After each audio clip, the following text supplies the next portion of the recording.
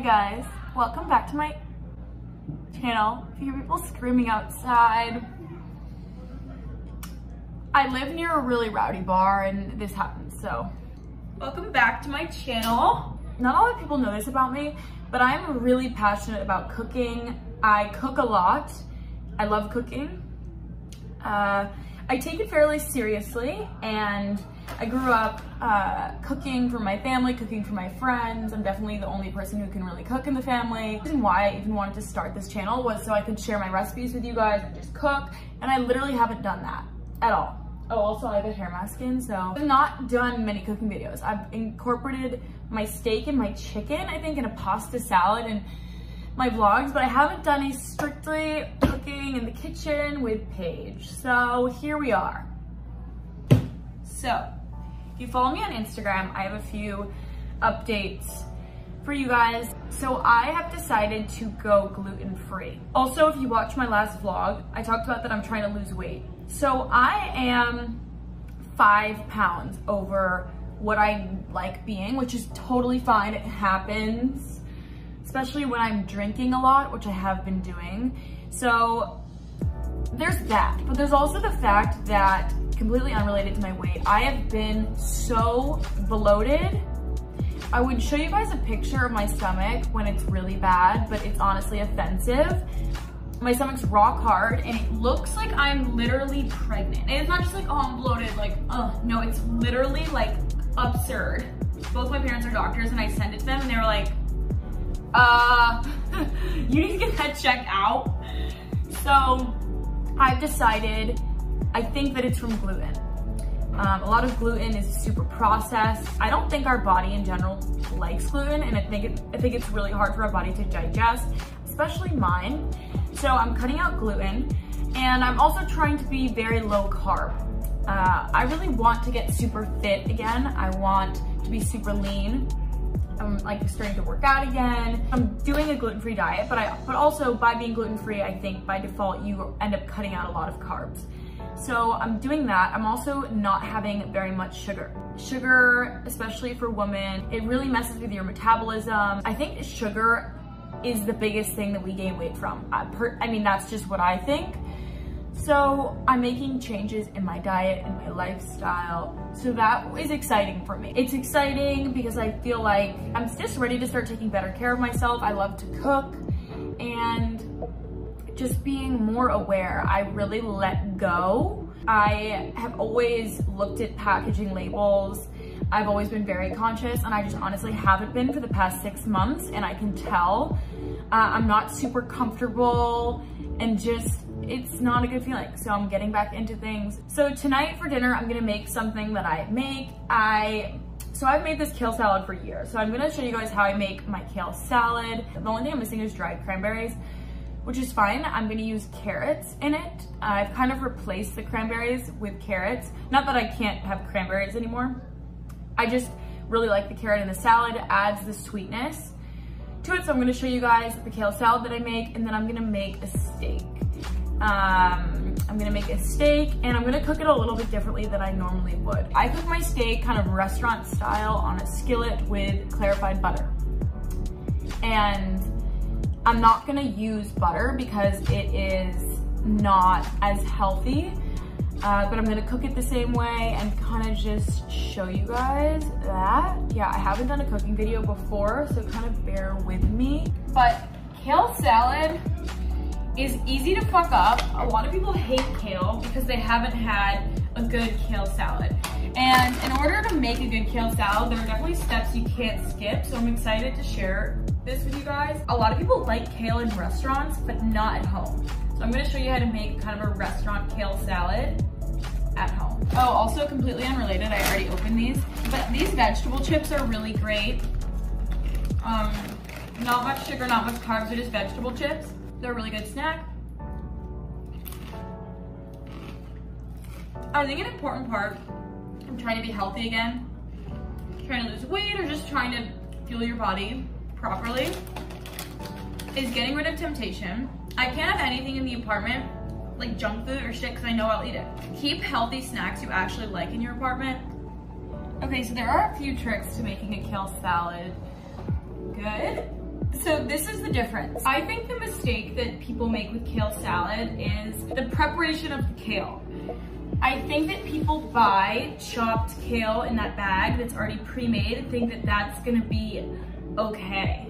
It's not, I don't think. You need to get a head of kale like this. And you literally have to single-handedly pick the kale. And the issue that I have with chopped kale that's pre-chopped already from Whole Foods or Trader Joe's or wherever you shop, they have them, is they leave in these stems. The stems are disgusting. So if you have something like this, you need to literally take a big bowl and really finely rip this apart off the stem in little pieces. So you're gonna already have chopped kale because you literally picked this off just like this. So it takes a second, not gonna lie. So I will pick all this kale off, or as much as I want, and put it in this. And then after all this, I will go in again and just pull it apart. I like my kale pretty finely chopped. So that is the first step. This is all I'm gonna do because it's just for me tonight. After I did that, again, I'm just gonna go in and kind of just pull all of this apart even more. So I'll tell you guys about the next step, which I think is equally as important. I am really into salad dressings. I make all my own salad dressings. And I think with a kale salad, it's super important, your dressing. So what I do is, is before I even do the dressing, I will put olive oil on the kale and I will massage it. Um, depends on how much time I have, but I really like doing that. It's a very important part of this. And when I make my salad dressing, I actually don't put olive oil because it's already all over the kale. So I'll show you guys that too. So I'm just gonna take olive oil and I don't go crazy, just kind of like that. I don't have exact measurements for any of this, which might be unfortunate for some people. But so then I just take my hand and I massage it, I guess. So I will just take a handful and just squeeze it. If I didn't do this step, the salad would be shit. So don't forget this part. After this, I'm just gonna let it sit. I'm gonna start the steak and right before I have dinner, um, or if I'm serving, I do the dressing last. But this salad that I make, I mean, obviously I throw in different things depending on what I have, but it's really a dressing kale focused salad. I don't love adding too much. I really think that when you have a really good dressing and you have well chopped, soft kale, you don't need a ton of stuff in the salad. Carrots are really nice in it, but I don't add too much to this salad. You guys watched my favorites video for last month. I mentioned this pan. This is what I cook meat on. And this is what I'm gonna cook the steak on tonight. The most important part of cooking meat in general, across the board, whether or not you're making steak, chicken, anything, it is so important to cook at a very high temperature. The goal with steak, especially made on a stove at home, is to get your pan really hot because you want it to be more rare on the inside and kind of crispy, nicely done on the outside. And I think that a lot of people don't know how to cook a steak at home, so I hope this is helpful. So my best steak I make is a bone-in ribeye with ghee and it's just covered in this clarified butter and it's so crispy and so good. It's like this rosemary garlic thing. Uh, I'm not doing that today. I will still have that. Just, I mean, I'm on a kind of diet now, and it's it's not that. I would still have that on my low carb diet, um, and I will still be eating that. I just am not going to tonight. During the week, I'm really trying to keep it super clean and healthy, uh, not too much fat. So I got a really lean cut steak. It's a strip steak. I'll show you guys. It's an organic grass-fed beef. And so what I'll do is I'll put olive oil in and then I'll just take a paper towel and kind of spread it over everything. So there's not just like too much excess oil. And then I'm going to turn this on high, get this hot and I'm gonna season my steak. So here we have it.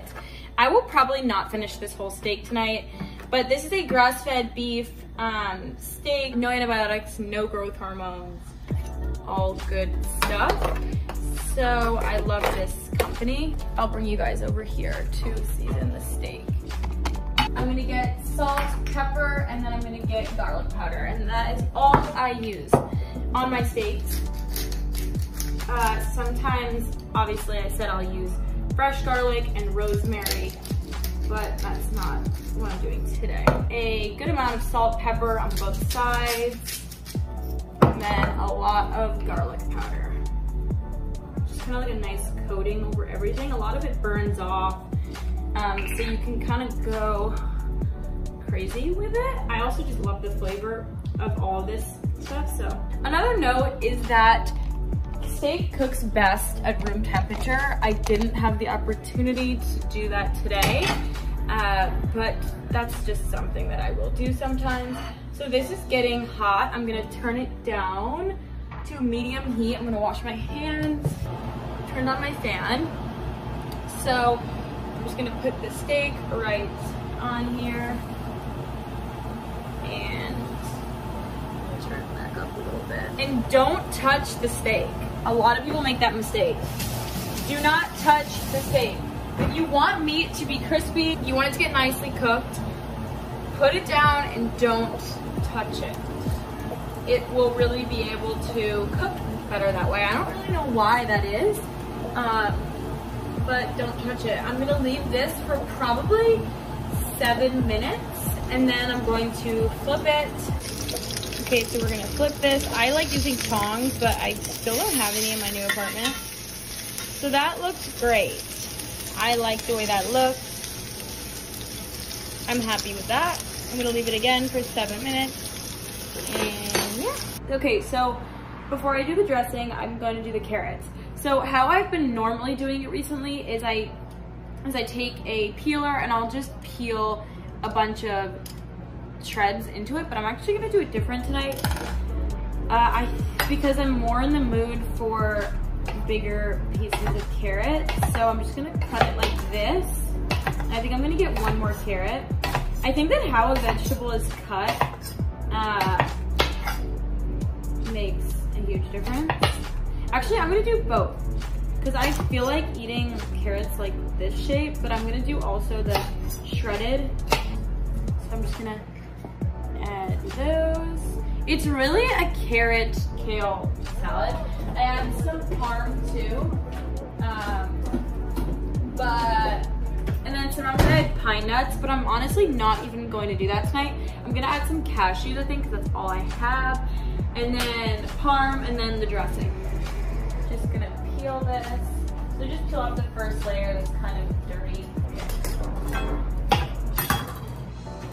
Okay, so I just take this like this. I mean, it's kind of tedious, but it works. Now let's make the dressing. Okay, first take a lemon. Just gonna squeeze a whole lemon into a little glass or a bowl, just fishing out the seeds. So I have the lemon juice. I'm just gonna add some pepper, salt, a little bit of garlic powder. And then I'm gonna add a little bit of Dijon mustard, just a very small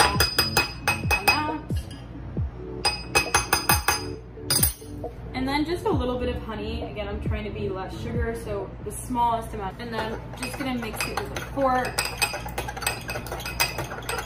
And then put it all over the salad. And I really like to toss my salads with tongs, but apparently I don't have any, which is very weird. I might have left them at someone's house, but I really like tossing it with tongs, but we don't have that right now, so I'm just gonna use what I have. Tossing your salad is so important, like really thoroughly tossing it. There's nothing worse to me than a salad that comes untossed. it's literally the worst. So I really like to add hemp seeds to this salad, hemp hearts, but we don't have any. I don't know what happened to them. I think I might have thrown them out because I was worried the mouse, I have a mouse problem. with getting into it, but I do have chia seeds, so I'm gonna sprinkle some chia seeds on top. Then I'm gonna add some parm. I was gonna add nuts, and I honestly usually do add nuts, but I don't think I want any tonight. So I think I'm gonna hold off. I like fresh parm better usually. I usually have a grater and I I grate it, um, but I already had this parm and I'm leaving soon, so I thought I'd just use this. So I'll just kind of sprinkle this in. Then I will toss it again. Hemp hearts are so good in salad. Um, chia seeds will do too. I just like the texture, honestly. Okay guys, this is the finished product. I'm happy with it. And I always put A1 sauce on my steak. This is probably the most ratchet thing out of everything that I've mentioned. I just love A1 sauce and it is what it is. Okay thing of water. Yeah, that's all. I'm leaving on the 24th, my trip with Revolve. I'm really excited about that. I have so much to do before I leave but that's okay. I'm just busy right now in my life in general, and it's good. Ooh, I just might need help soon. It's getting to a point where I'm overwhelmed. I love you guys. Thank you for watching. I hope you enjoyed this little cooking video.